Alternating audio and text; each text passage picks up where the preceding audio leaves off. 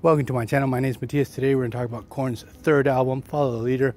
This, when it came out, was a real big deal. It kicked open the door for so many alternative metal and nu metal bands to break into the mainstream. So, without further ado, let's get into the breakdown. So, first, let's start off with Jonathan Davis. Vocally, he's not as aggressive as he was on Life is Peachy, but he does a killer job. Lyrically, we have many of the same themes dark personal stuff. And we have to add on top songs about the burdens of fame and the pressures that one feels in life. Now, for the guitars with Head and Munky, they sort of perfect the whole style of playing off each other. They're starting to do some pretty intricate stuff in their playing.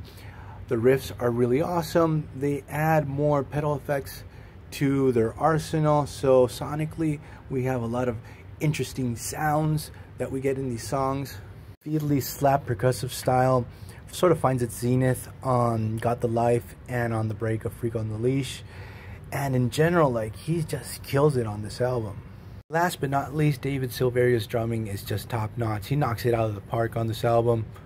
Now, for the track list of this album, I have to say that it rocks pretty hard, but two or three tracks now, as an adult, I go back to them and the lyrics are just way too cringe and they don't work for me, but the rest I find very enjoyable.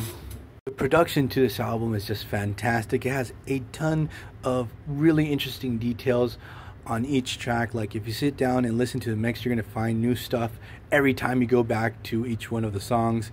So I'm gonna leave this video here. I hope you guys liked it.